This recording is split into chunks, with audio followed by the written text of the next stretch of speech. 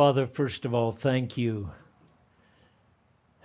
that you give us relationship guides. Thank you that they're not laws and legalistic, but they're relational. And so, as we continue this study on divine government, you getting us ready to rule and reign with you for a thousand years. And then whatever you've got for us in the ages to come. Lord, may we hear what you're saying, not just in our ears and in our intelligence, but in our spirit. And may the impartation and the sense of what we're sharing get into us and change us so we're ready for what you're about to do. We ask in your precious name. Amen. Now, one of the reasons I call this transitioning from church governance to kingdom governance is church governance has been a mess. And everybody said, Amen. And if it's been a mess, then we have not been doing it God's way. But man is very slow to realize that. And so, what we're wanting to do is to show you how heaven is governed. Thy will be done on earth as it is in heaven. Well, if I don't study as it is in heaven, am I going to know how it ought to be on earth? And so that's the premise from which God started me here. We're catching glimpses of heaven's governance. And by the way, in everything God does, it's never all in one place, which is frustrating for humans. But see, God is pressing us into relationship. He's not pressing us into legalism, He's pressing us into relationship. And so here's what we've learned so far God is king and rules supreme. Second all, Satan, and catch this because there are people who, who don't believe this, but if you're honest in daily life, you'll say this is so. Satan still has access to the heavenlies until Revelation 12. Okay? Satan is a restless spirit. So, and that's Job 1 and Job 2. I don't know why that other is. There's no, uh, it's not Job 21. Four, God gives permission for the trial of his child. Nothing comes to you except by permission. That means God has confidence in the work He's done in you. Oh, I wish we could hear that way down deep inside because it would change our whole sense of what we're going through. It would actually cause us to say, Yay, thank God for the trial. I've got everything I need to go through this.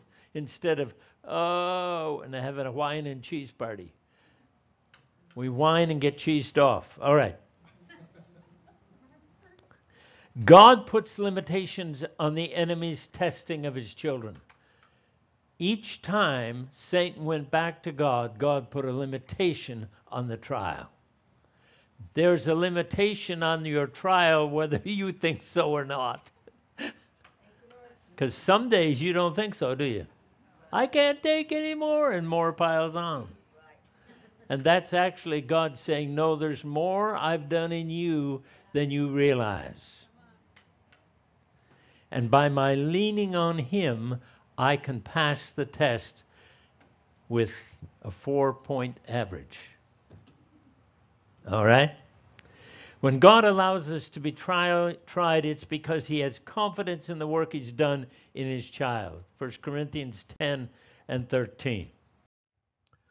So we're going to look at another incident of heaven's governance, and this is probably the clearest one we'll see.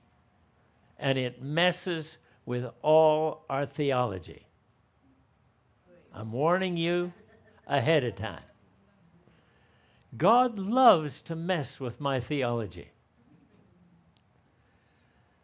So it's 1 Kings 22, 19 to 23, and 2 Chronicles 18, 18 to 23.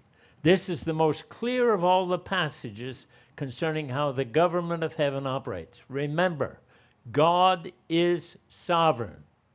This makes the way he chooses to govern even more amazing. So let's we'll read the uh, First Kings passage in uh, 1 Kings 22 19 to 23. And he said, Now this is Micaiah, the prophet of God. He's actually a seer. He is relating what he is seeing, present progressive tense. He has been caught into the council of heaven. Thy will be done on earth as it is in heaven. So here we see God making a decision and God ruling in the affairs of men. And he does it kind of strange. And he said, Hear thou therefore the word of the Lord. I saw the Lord sitting on his throne, and all the hosts of heaven standing by him on his right hand and on his left. And the Lord said, Who shall persuade Ahab that he may go up and fall at Ramoth Gilead? And one said on this manner, another said on that manner. Verse 21 And there came forth a spirit and stood before the Lord and said, I will persuade him. And the Lord said unto him, Wherewith? Now, folks, God didn't need to know how it was going to be done. Therefore, the reason God allowed this to be written is so you and I could see how heaven is governed. He doesn't have to tell us a thing.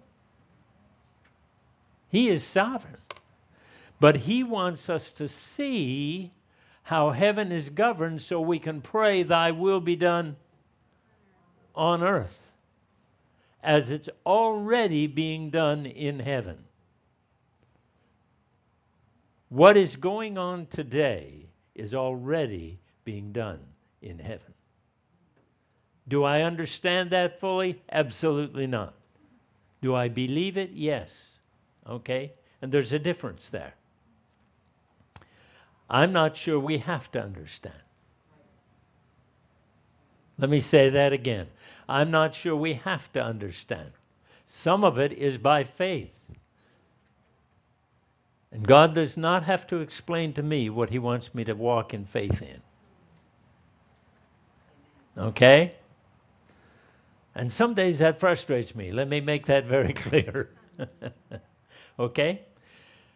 And the Spirit said, I will persuade him. And the Lord said unto him, Wherewith? And he said, I will go forth and be a lying spirit in the mouth of all his prophets. And God said, Thou shalt persuade him and prevail also. Go forth and do so. Now I want to read this portion also in Second Chronicles because it unveils a little more of how the enemy operates. How many know we need to see from Scripture, not from experiences, but from Scripture, how the enemy operates. So in Second Chronicles 18:20, then there came out a spirit and stood before the Lord and said, "I will what?" Oh. Does that unveil a little more of how he does it? I will entice him. And the Lord said unto him, Wherewith? And he said, I'll go out and be a lying spirit in the mouth of all his one spirit in the mouth of 400 or 850 prophets. One spirit. So if you cast out devils, cast that devil out, for uh, 850 people would be free.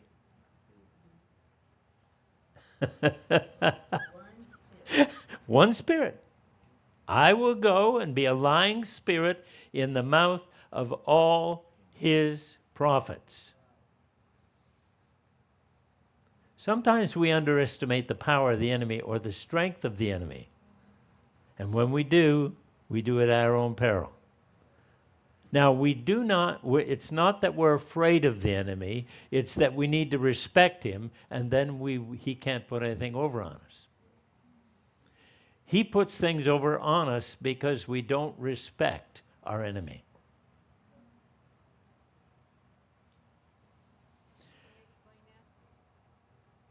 When we respect the enemy, we don't put anything past him. We understand his methods. That's we're going to look into that in a bit. But we understand his methods, and so we don't assume or presume anything.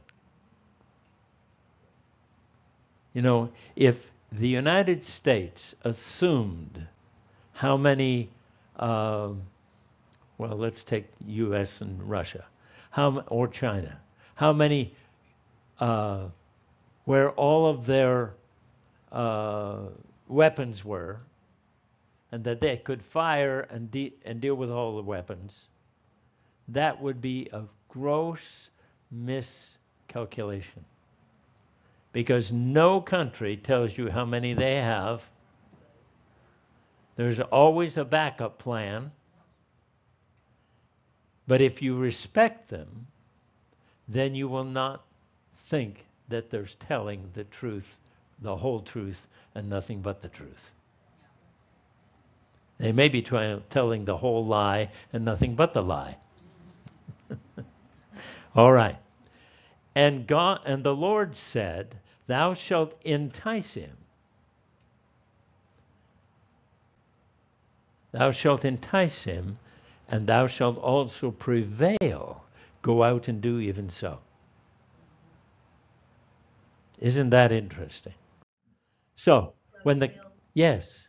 Not only is the spirit allowed to go out and entice, but it sounds like he could only have the power that God lets him have. That's right. He was delegated the power to deceive. Now there's there's another you know.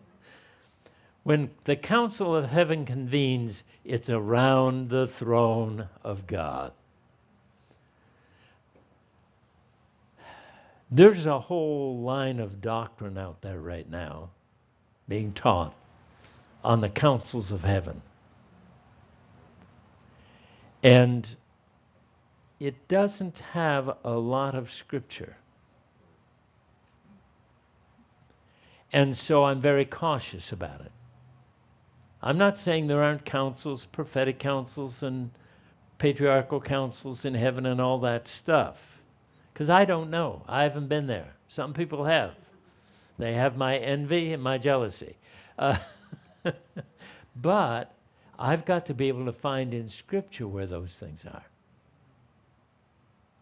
I would rather set up like David did, because you see, David, and we'll look at this a little later, David got his pattern of government from God. And he changed the government and how Israel was governed because of that. Okay? So when the council of heaven convenes, it's around the throne of God. Second of all, the hosts of heaven, obviously both good and evil, are gathered around the throne.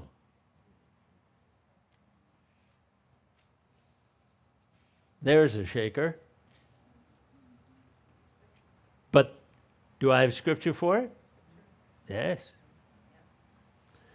Three, God determined that Ahab would fall at Ramoth Gilead. The outcome is never in doubt. God gives very clearly what he wants done. But the method is not necessarily decided. Hello? That's why the man whom God has given the vision for a work should never forsake the head of it.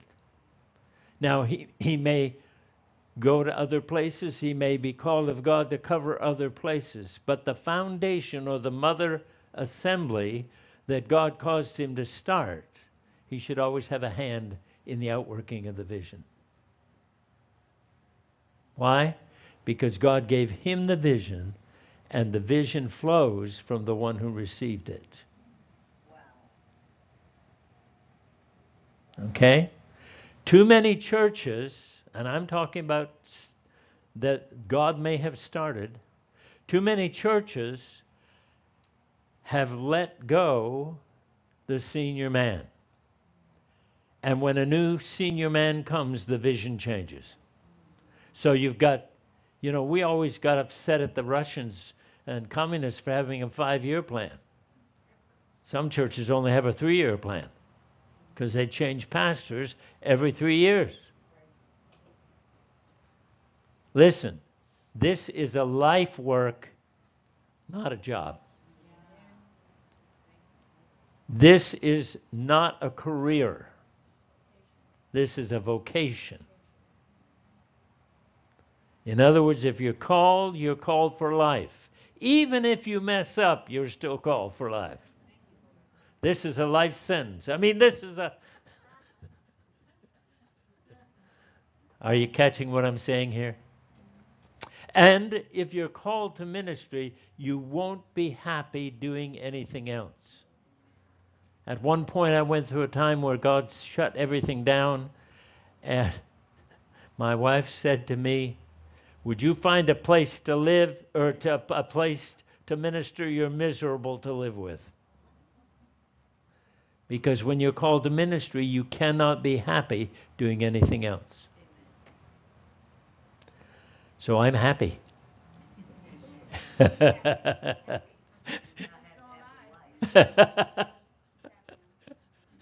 All right, let's not go down that too far down that road. All right. what was not decided was how it would be done. God asked, and this this is it blows my mind every time. God asked for suggestions. How are we going to do this? Even though he knew what the response would be. And again, I really feel that's because he wanted us to see how heaven governs. Number six, he entertained a number of suggestions and then decided which one would prevail. He released a lying spirit into the mouth of all the false prophets. A lying spirit, and this, you need to hear this about a lying spirit. A lying spirit that was so convincing it overrode what the prophet of God said.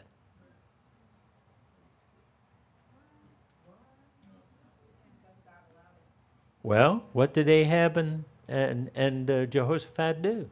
They went to war anyway, didn't they? When the prophet of God had told them exactly what would happen. They went anyway because they believed the lying spirits. After all, you know the majority is always right. If you believe that, you're a sucker. The minority is always right, and the universe is ruled by a minority of three.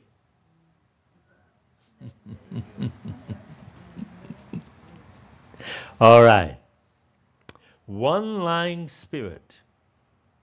It's important to remember that lying spirits have the ability to convince even the ones lying that they're speaking the truth.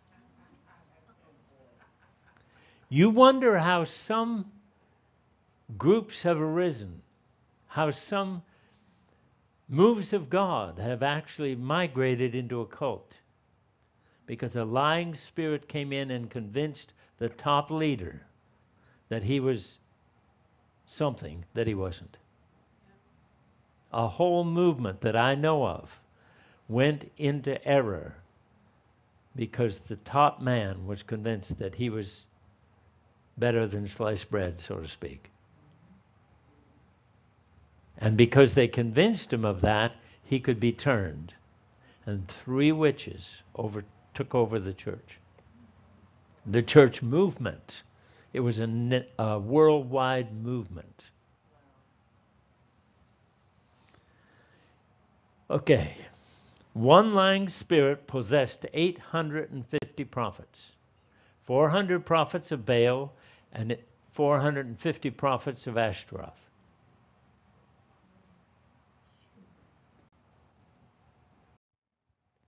In the First Kings passage, God said, Thou wilt persuade him and prevail also. In Second Chronicles passage, he said, Thou shalt entice him and thou shalt also prevail. God guaranteed the victory of the lying spirit. That is a talk about shake them up. When a lying spirit takes over, even those who are doing the lying are convinced they're telling the truth. Two methods of the lying spirit are exposed in these passages persuasion by coercion and enticement or seduction.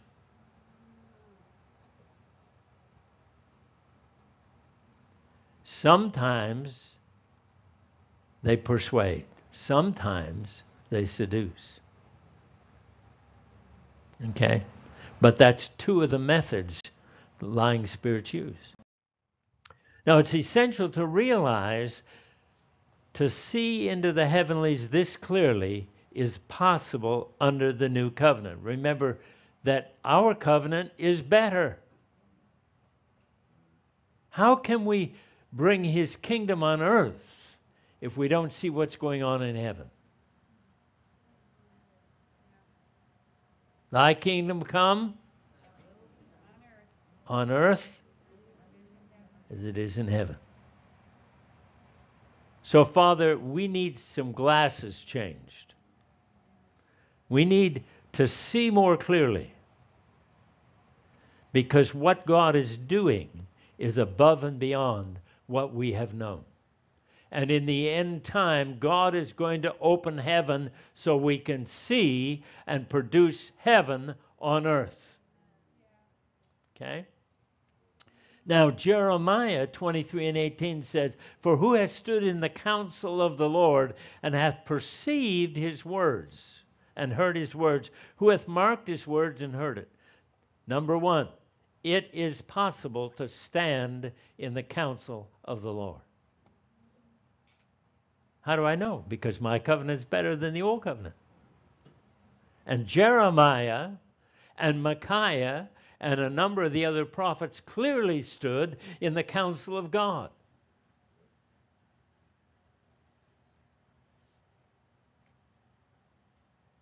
Didn't they? Isn't that what it says? Well, is our covenant better or worse? If they could do it in the old covenant? See, we, we read the Old Testament, but we don't read the Old Testament. We think these folks were special, and they had something better than our covenant. Come on now.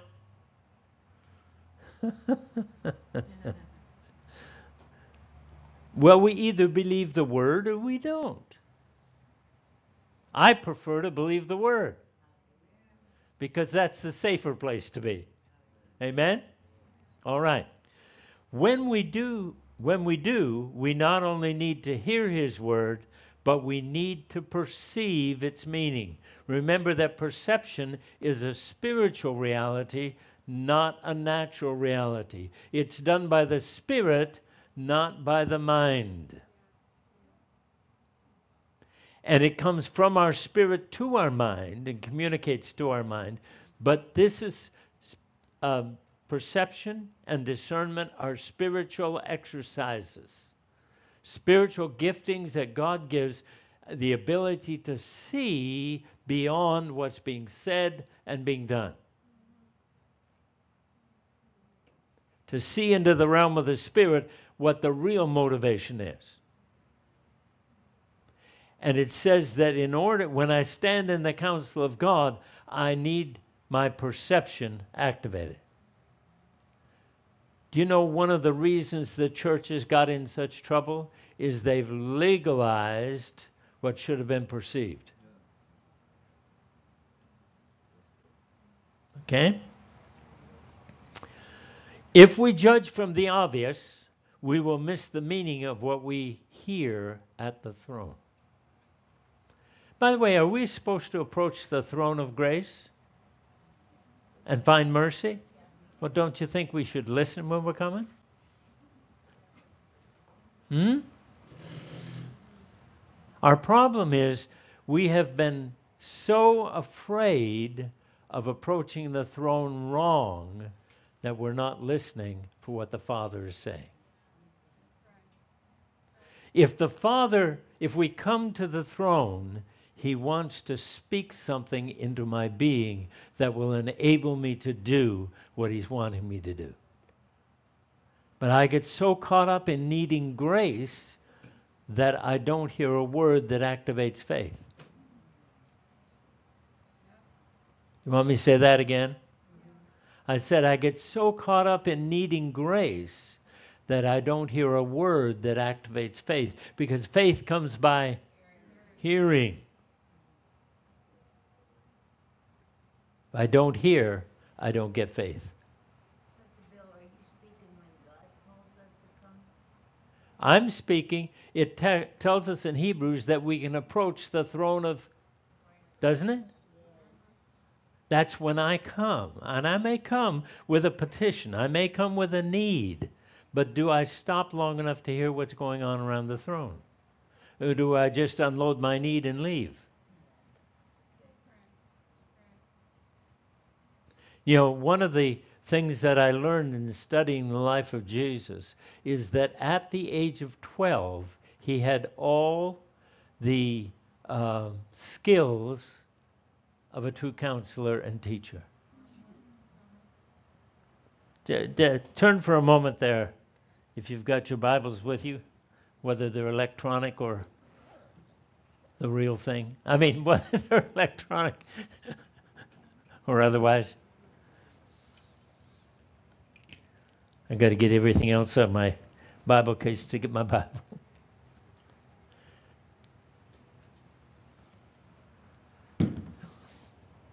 Okay.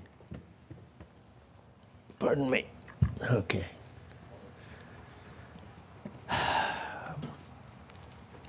Now, what was my last statement? Jesus I need to as get my well. Bible. Yeah.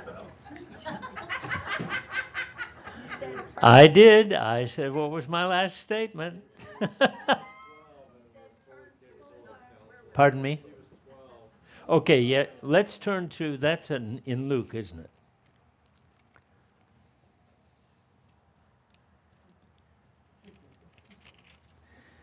Yes, I did ask the question, and it's my fault. Verse 41 of Luke chapter 2. And now his parents went to Jerusalem every year at the feast of Passover. And when he was 12 years old, they went up to Jerusalem after the custom of the feast. And when they had fulfilled the days, as they returned, the child Jesus tarried behind in Jerusalem. And Joseph and his mother knew it not. By the way, keep track of your kids. All right. Uh, But they, supposing him to have been in the company, went a day's journey, and they sought him among their kinfolks and acquaintance. And when they found him not, they turned back again to Jerusalem, seeking him. And it came to pass that after th- three days, they found him. I think Mama was worried, don't you? They found him in the temple, sitting in the midst of the doctors. Now listen carefully both hearing them, in other words, he knew how to listen, and he knew how to ask questions. Now, these are all skills of a teacher and a counselor, but a teacher. And all that heard him were astonished at his understanding and at his answers. In other words, he answered the questions that the doctors of the law asked him after he had asked their questions, asked them questions. By his answers, he revealed a knowledge that was unusual for a 12 year old. And all that heard him were astonished at his understanding and his answers. And when they saw him, they were amazed. And his mother said unto him, Son, why hast thou thus dealt with us? Behold, thy father and I have sought thee sorrowing. And he said unto them, Now catch this. How is it that you sought me? Wist ye not I must be about what? So he knew who his father was, and he knew what his father's business was, and he was doing his father's business. And he could have, from the age of 12 on, he could have moved in all of that. Now, because it will feed we'll feed into this one later, let me go on and read the rest of that. And they understood not the saying which he spake unto them. Catch these two verses. And he went down with them and came to Nazareth and was what? Subject unto them. He submitted unto them, even though he knew and had the power and authority to move in what he was called to. That's true submission.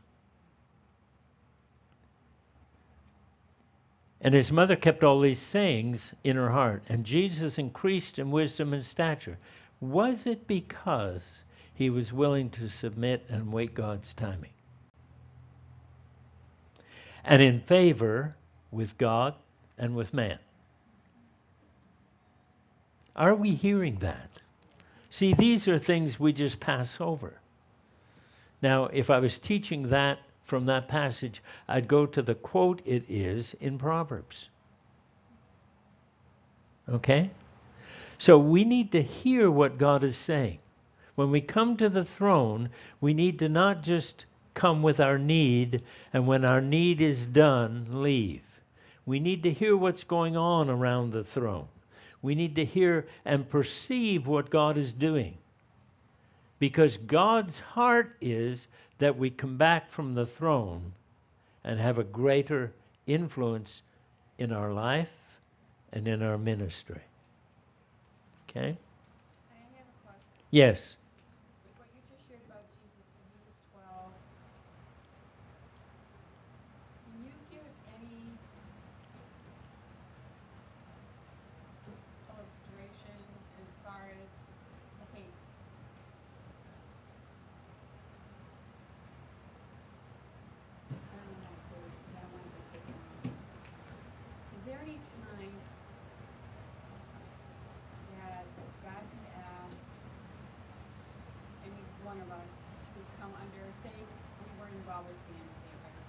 Okay. And God calls us out to another ministry or something like that. Would God set us in a situation like that, even though, and I know this can be dangerous, where we might know more than the leaders, but God wants us to submit? Let me give you an illustration from my own life. Back in 1975, God called us to go to a ministry and live in Montreal in a house with 63 others. We had five children at the time, plus a visitor who had a baby as well. So we lived in one room with uh, one of our children went and slept somewhere else. The mother of the little baby went and slept in, in a you know in a ladies' dorm. So we had five children in our bedroom and a dresser between us. You talk about a hothouse.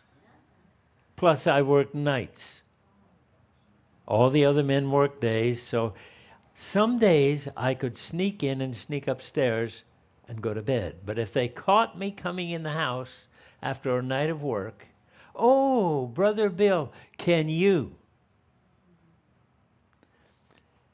One of the things I realized in that was that there are some areas that I knew more than the leaders, even the, the international leaders.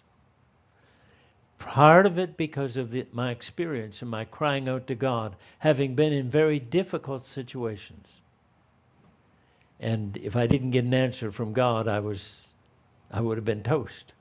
So either I got an answer from God, or, you know, so when when we went to the Christian community, which was a, a back to the land farm style situation, no running water, no electricity, uh, and all that stuff, you know, that good old back to the land stuff.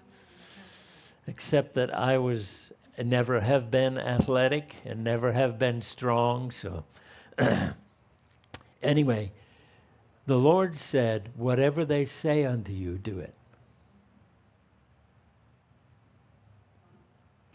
And so, as I did, and I walked in that, those on the land that, that were part of the congregation would begin to come to me. Okay? And they would see something in me that wasn't. By the way, there were 24 elders. I just want to let you know they weren't the ones around the throne.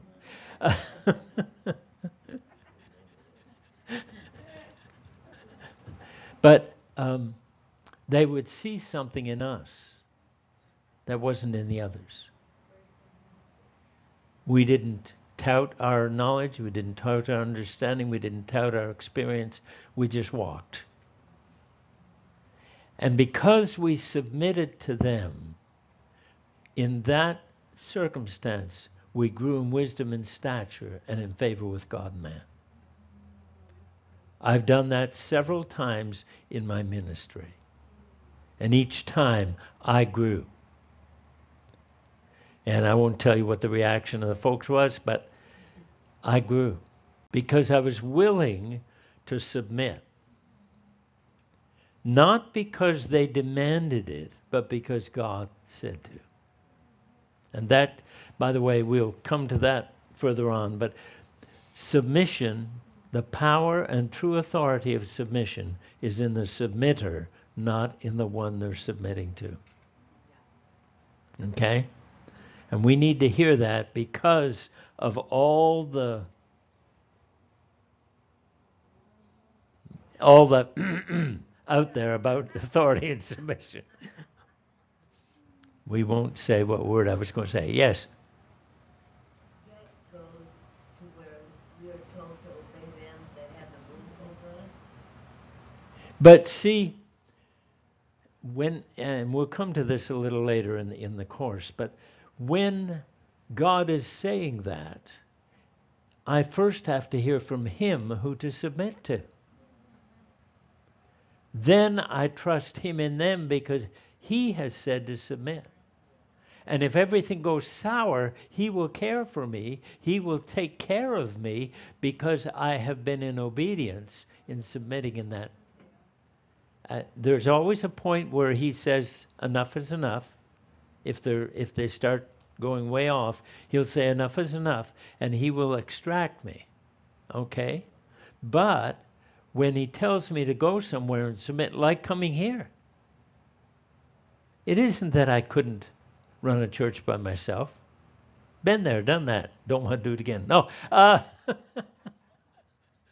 but hear me. It's because God said to come and submit to Dr. Ed. And so we are learning to flow together. We are learning how to be a corporate body of Christ rather than just a singular head. He's the man that carries the vision. And so, even if I hear from God, I submit what I'm hearing to Him. Okay. Okay? But it's because God said to be here. I'm here because God said to be here, not because I love the heat in Florida. Although it's nice some days. Some days it's well done, thou good and faithful servant. No, no, good and faithful, thou well done servant. All right. So let's. Daniel had some unique insights into heaven, and some of those who are motivated from there. Daniel's vision of God shows us how much he saw into heaven's governance. That's Daniel 2 20 to 23, and Daniel 4 13 to 17, verse 23, and verses 31 and 32. So let's look at some of this. Daniel 7 13 14 and 18. I saw in the night visions, and behold, one like the Son of Man came with the clouds of heaven and came to the Ancient of Days. And they brought him near before him, and there was given unto him dominion and glory and a kingdom that all people, nations, and languages should serve him.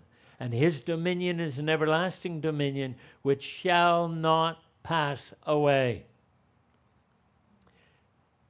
even though it may look like it's being squashed. Remember, God always has an ace, what I call an ace in the hole.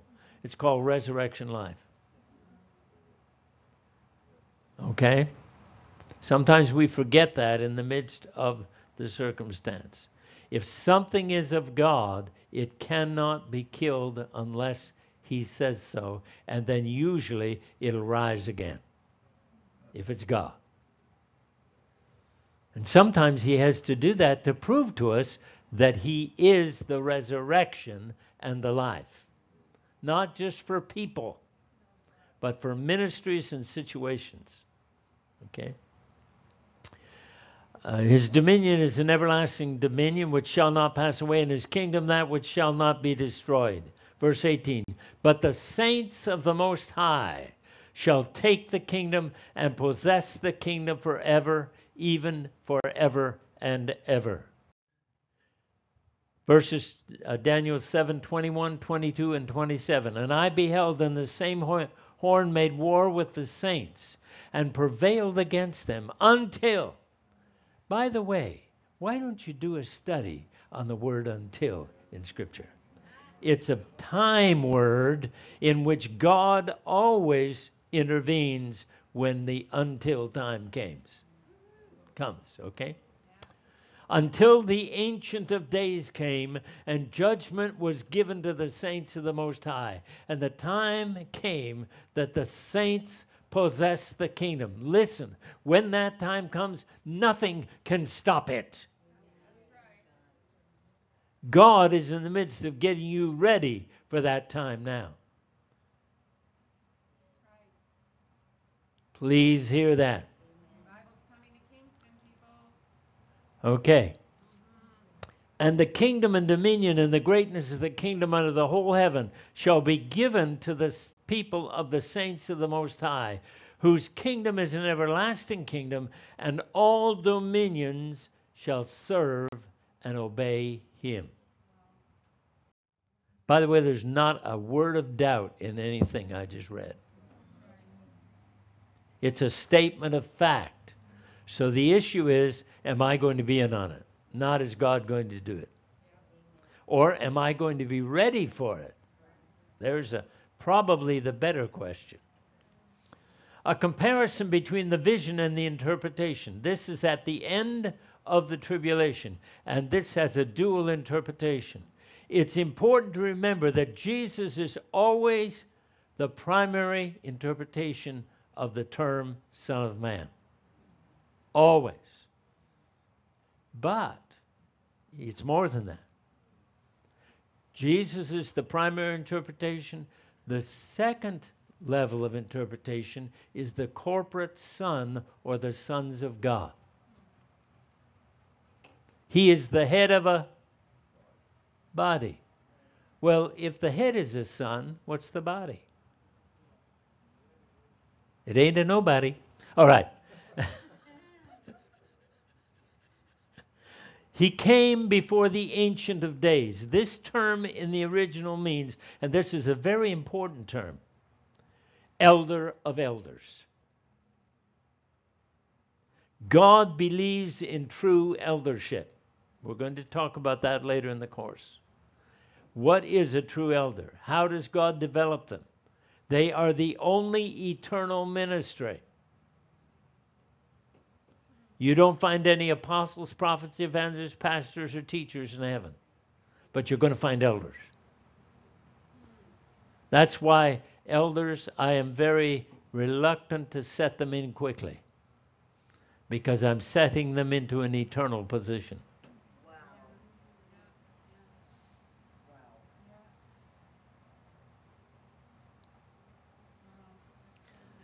Yeah, let that one sink in, huh? Even Jesus, as the divine Son, has to approach the Father with reverence. One of the things that is not has not been in the church since the charismatic move is reverence. God is going to return that to the church with the fear of the Lord. When he receives the government for the ages to come, it's given to him from the Father. The parallel type is found when Joseph is given authority in Egypt. Only when Pharaoh was in the throne was he over Joseph. It's a type and shadow. All government serves Jesus. Bottom line, period. All government. And the corporate son in the end. This we see in the passage when the vision is interpreted for Daniel. It would seem that at the same time the Son received authority, the sons or the saints received it as well. You mean he hasn't got authority now? Not full authority. He's waiting for you and I to grow up. Yes. The whole earth groans and travails for what? Of who? Are they like the Son? Is he the pattern son? Hello? I'm to become like him. He's not going to become like me, thank God. and you better thank God he's not going to become like me, too. Are you hearing me? What's that? He does not have full authority because in this passage in Daniel, it was given to him at the same time as the saints possess the kingdom. The anointing for authority is fully poured on the head and it runs down. What's Psalm 132? 31, yeah. It runs down to the skirts of the garments. That means the, the anointing that came on the head is going to come on the whole body.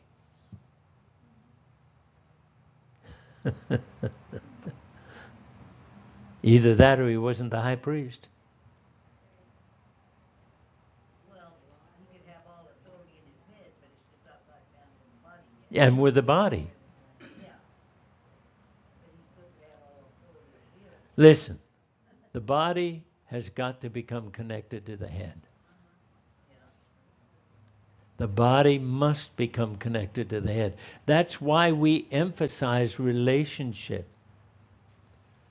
If he started in the garden with relationship and he ended in Revelation 22 with relationship, what's the book about? Relationship. And we've made it about doctrine, about intellect, about all that stuff. And has it worked? So maybe we should get back to the theme that he started.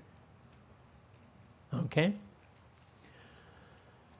There's a specific time when it is to be received. Now, listen, let me say this. Positionally, he has all authority. Okay? Again, it's the difference between the position, the process, and the possession.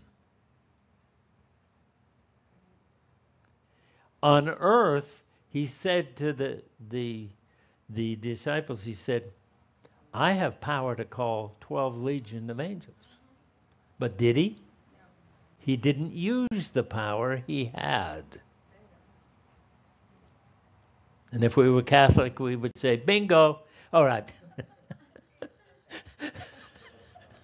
All right. I'm bad. All right. Now, Jesus manifests the government of God on earth as he did only that which he saw the Father do. This is absolutely essential both to understand and to ask God to bring us into.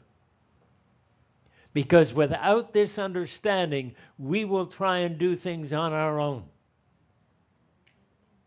And that's what's got the church in a mess all along. It isn't that these men down through the ages didn't have revelation and God wasn't trying to build his church. He was, but they got stuck because once they thought they knew what God wanted, they begin to do it from here, from the, their brain, rather than from their heart and their spirit in relationship. And that will trip you up every time. Okay? So in John 5 19 to 21 and verse 30. Then answered Jesus and said unto them, Verily, verily, I say unto you, the Son of Man can do how much? Nothing. We don't like the nothing realm, do we? We want to be doing something. The Son of Man can do nothing of himself, but what he. Oh, you mean he had an open heaven? He could see into the heavenlies. For whatsoever he doeth, these also doeth the Son likewise. For the Father loveth the Son and shows him how much? All things that he himself doeth. And he will show him greater works than these, that ye may marvel. For as the Father raises up the dead, who raises the dead?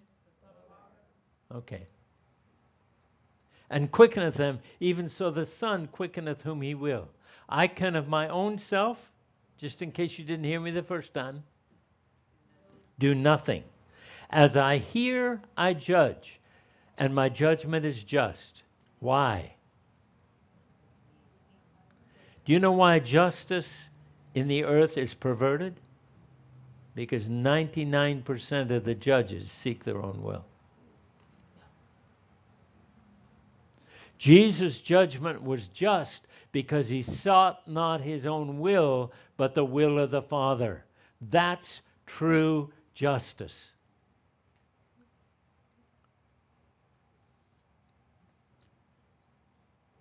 I can own self do nothing. As I hear, I judge. My judgment is just, because I seek not my own will, but the will of the Father which has sent me. Isn't that powerful? God, get that into our spirits, get it into our souls, and change our minds from thinking that we can do something of ourselves to the point where we're willing to say, God, what do you want to do? And wait until He speaks. Daniel waited 21 days when God sent the message as soon as he prayed. We pray and expect the answer yesterday. There are sometimes when the purpose of God is to do a work in the waiting. The waiting room of God is the biggest room in God's house. Okay? Now, all of the above scripture point to Jesus not doing anything except what he saw done in the heavenlies. He did not speak except what the Father gave him commandment to speak. Because of this, we can safely say that Jesus manifests the government of God on earth. Do you know something? We need to spend more time studying the Gospels and studying the life of Jesus. We spend a lot of time in the epistles. We spend a lot of time in the Old Testament, and I believe in the Old Testament, you know I do. But if I don't find him, he said that all the scriptures, all the scriptures, not just certain ones, all the scriptures testify of him. So when I'm looking in the Old Testament, who should I be looking for? When I'm looking in the epistles, who should I be looking for? When I'm wondering how something that I'm hearing and instructed instructs me in scripture should be walked out, who should I be looking at? How did Jesus do it? You follow me? And if I don't know the life of Jesus, am I going to hear be able to hear the Father say, This is the way, walk ye in it? Okay? First and foremost, he governed his own nature and will by that which was the will of the Father. I learn the government of God by letting God govern me. I learn what rebellion looks like when He instructs me and I rebel. I learn how to deal with that rebellion as I take it back to the Father. Then, when I deal with it in the church, I do it right. Because I've learned on the testing ground. which is me. How Jesus dealt with his own nature was a manifestation of divine government. See why we need to study him?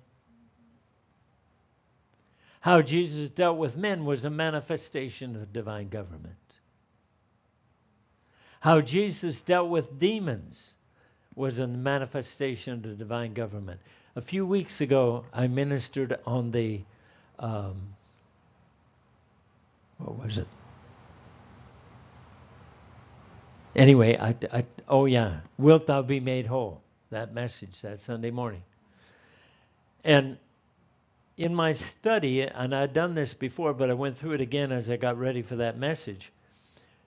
In my study before, I'd come across scriptures that said, and Jesus healed those that were possessed of devils. And I thought, ah, ah, ah, cast them out. That's what I was taught. And then, of course, others he did cast out, didn't he? And I said, God, what's the difference? He said, study and find out. so I prayerfully went to God and say, show me the difference. Do you know the word used, the word, the original words used there? When it says healed, absolutely means healed. I said, God, what does that mean? He said, I healed them and the demons couldn't stay. So some of the demonic possession was because of wounds of that were not healing, things that weren't. Remember, sometimes he cast out the spirit of infirmity. Well, how does an infirmity manifest? In a physical illness, doesn't it? See, we've got to define everything by Scripture rather than the dictionary or even experience. Then there are others that says he cast them out. And it means exactly that. He gave them the boot. So we need to, when I come to a situation, I need to say, Lord, why is this spirit here?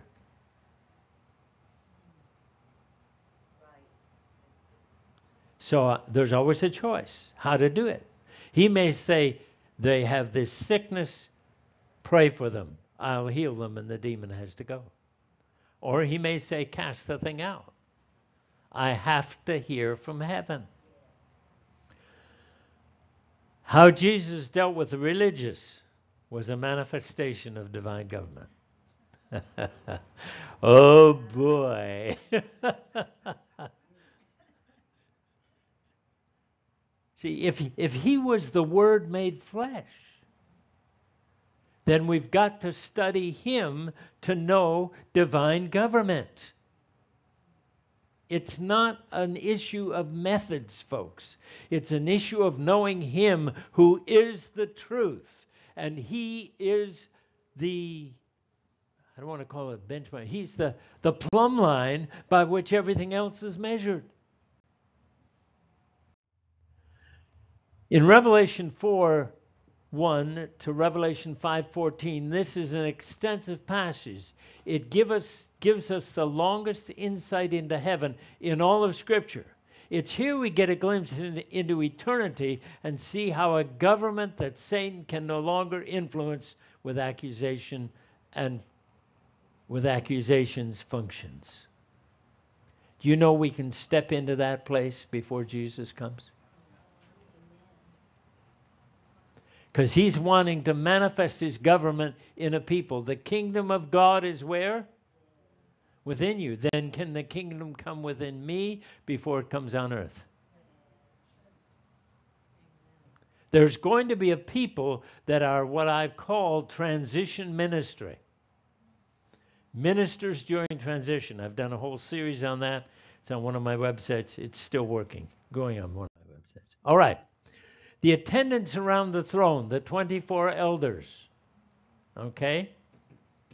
This is where we see that elders is an eternal position, not a temporary one. So I'm very, very cautious when I set in elders. And I've made a few mistakes. One of my first mistakes was setting in elders that were novices. Guess what? Church blew up. Guess who got hurt the most? I'm here in spite of the church. But there's still elders till eternity. I don't know. I honestly don't know. I wish I could tell you, but I don't know. Because if if you set one in that isn't called to that, okay. Huh? God could fire him, he didn't hire him. Yeah. Um, you know, and these are all things we weren't taught these things in Bible school or in cemetery, a seminary. Okay? We weren't taught how to walk out what God says is available. We were taught doctrine. We were taught methods.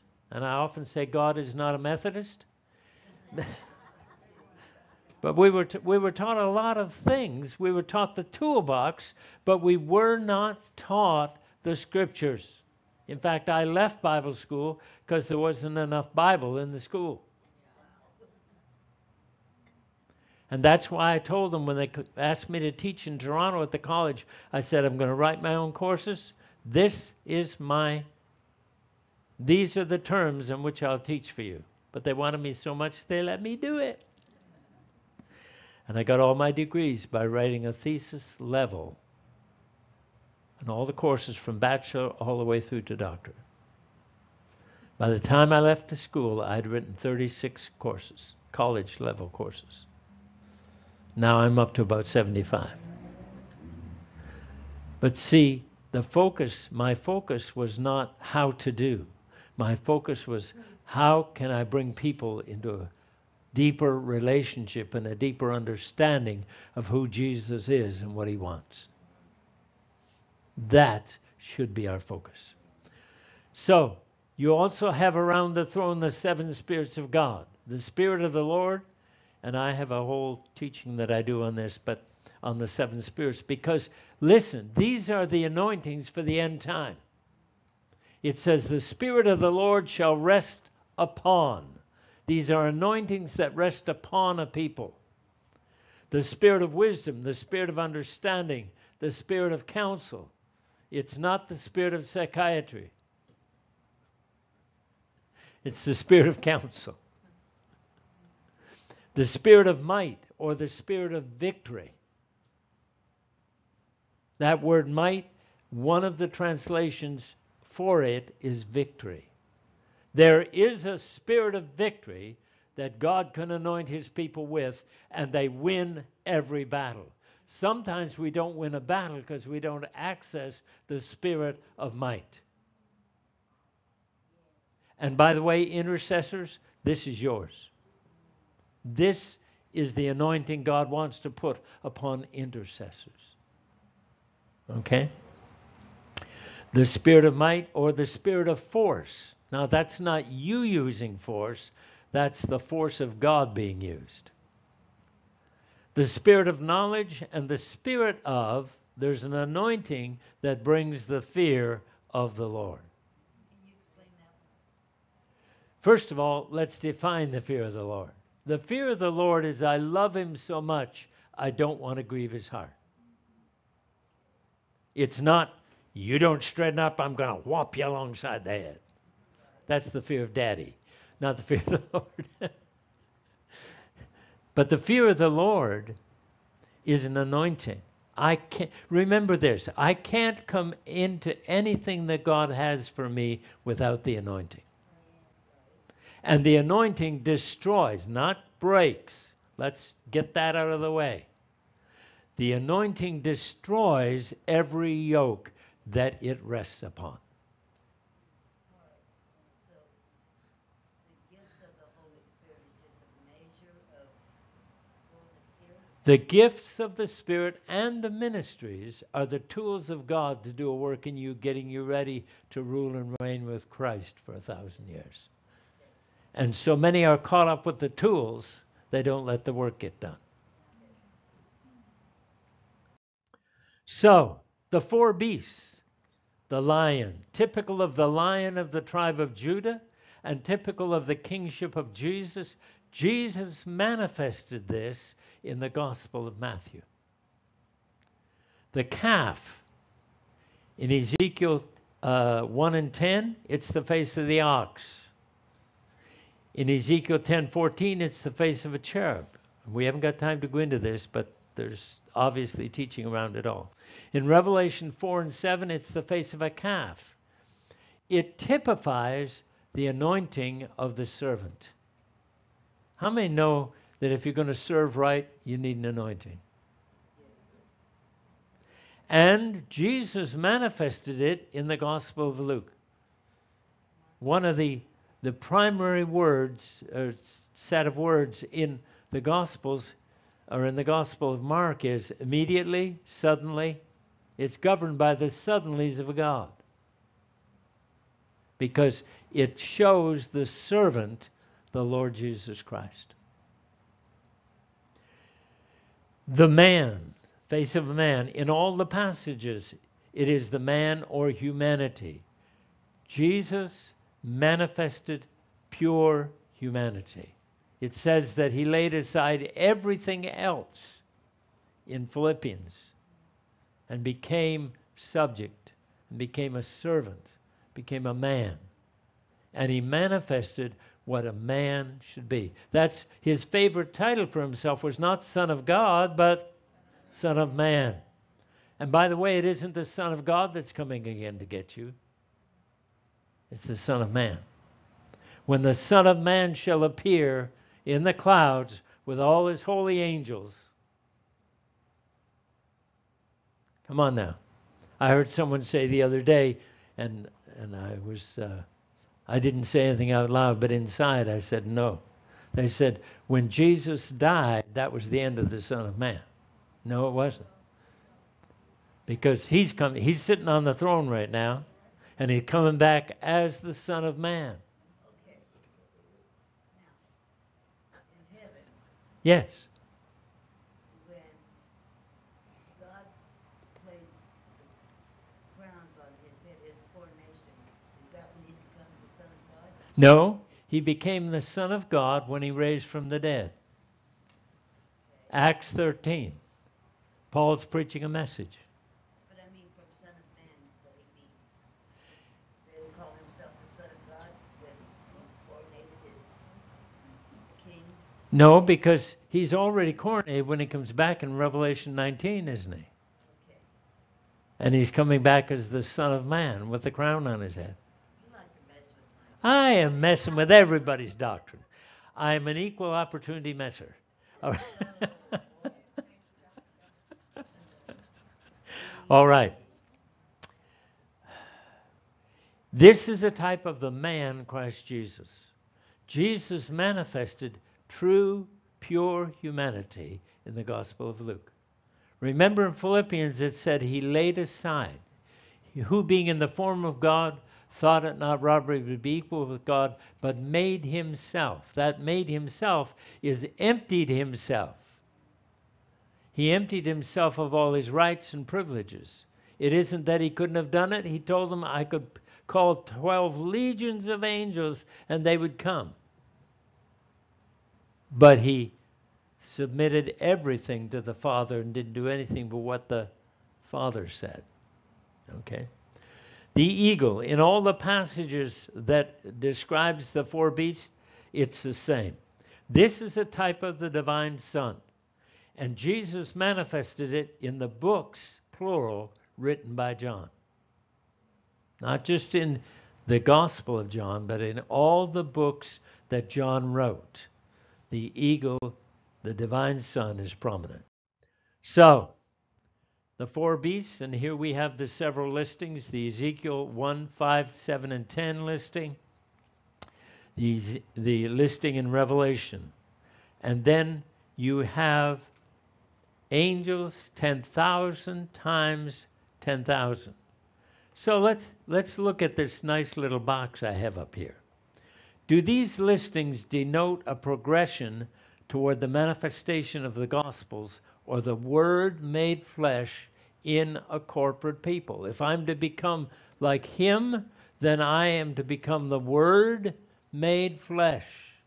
Let me say this, in your life God may give an emphasis to one of the Gospels, and that may be your emphasis. That may be the major emphasis of your life. Okay? It's not that we have to manifest them all, it's that we have to show forth an aspect of His nature that He's called us to show forth. And it's possible to show forth perfectly, but I must let the Word become flesh. How does the Word become flesh? The Word becomes flesh by God speaking into me and me allowing it to do its work. And we walk in it. Okay? It is the four beasts and the 24 elders that sing this new song in Revelation 5 and 8. And they're out of. Now, the four beasts and the 24 elders, they're the ones that sing it, right? It says, Thou hast redeemed us unto thyself out of every kindred. How many kindreds? How many family lines? A lot more than we know, right? What about how many languages? There's more than 28, right? Out of every people group and out of every nation. How many nations? Right now, there's what, 190 some or 210 or something? So it can't be four or 28 literal beings. It's speaking of 28 companies of people and they're all redeemed. I think we've got to get a bigger picture of what God's doing than we have currently. Okay? Some will have it worked in them in the Ezekiel 1 order. Some will have the Ezekiel 10 order. Some will have the Revelation 4 order. Divine order is worked into a people. So let's sum up tonight's lesson. We've seen the different biblically recorded scenes into heaven. Each one has shown us aspect of heaven's governance that was not seen in the others. That's why when you study anything in scripture, go from generations to revolutions. I mean Genesis to Revelation. Okay? Don't stop along the way. We've got into trouble in our churches and denominations because we've stopped somewhere along the way and majored on a certain aspect and not got off it. God is delivering us from that and bringing us into balance. Considering all of them gives us a composite account of heaven's governance. Our next lessons will begin to show how God unveiled the revelation of his governance down through history. What God does in the end time, now catch this, because we're living, I believe, in this day. I believe I'm going to see it, and I'm 76. Okay? So don't give up hope, folk. All right? What God does in the, of course, I'm going to live to 120 at least. So. What God does in the end time is bring all of these together in a manifestation of fullness that we cannot yet comprehend. Listen, when He reveals the fullness of Himself, no one is going to be able to say, I didn't have opportunity. There's coming a revelation of God from heaven that is beyond anything we can comprehend at this point in time. A symphony, consider this illustration. A symphony is usually four movements. Each movement has a character of its own and could stand alone as a musical composition. So the first movement was from creation to Noah, the movement to the covenant of the promised. The second was Noah to Moses, the movement of the patriarchs or a movement of faith. Moses to Jesus, the movement of the law, the schoolmaster to bring us to Christ. And then Christ to the second coming, the grand finale. The kingdoms of this world become the kingdoms of our God and of his Christ. Revelation 11:15. It's Daniel's stone becoming the kingdom that fills the whole earth. Those two are synonymous. The final movement has elements of, of the other three within it, but ends in a crescendo greater than all the other movements. What is happening in the end time is that the grand finale is greater and a summation of all the former movements. The kingdom government that God is orchestrating will be a merging of all that has come before and yet be greater both negatively and positively than anything that's been seen up till that time. Consider this the day of the Lord, and catch this. It has nothing to do with 24 hours. The day of the Lord will be the manifestation of the triumph of the cross over all the powers of the enemy, or the final crescendo of the symphony. The kingdom of darkness will have come to maturity with the enemy of our souls possessing and bringing the tares, the children of the wicked one, to maturity. By the way, that tares come to maturity first. That's what we're seeing going on. The very fact that, the, that they're coming to maturity should excite us because right on the heels of that, right on the heels of that, Right on the heels of that, the kingdoms of our God and of his Christ will come to maturity, and God will triumph, setting up his governance on the earth. Revelation 10 and 12, the triumph of God's kingdom. Revelation 12 to 18, the enemy's last ditch effort to keep rulership of the kingdoms of this world, and he loses. The kingdoms of this world are become the kingdoms of our God and of his Christ, and he shall reign forever and ever. So let's talk to Father. We better, yeah.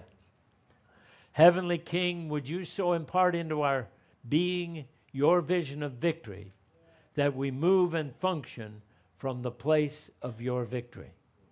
So infuse our thinking with your kingdom mindset that we think, pray, function, and minister from there. Your kingdom come in our individual lives. Your kingdom come in our corporate lives, we pray. In Jesus' name. And everybody said, Amen. Amen. Glory.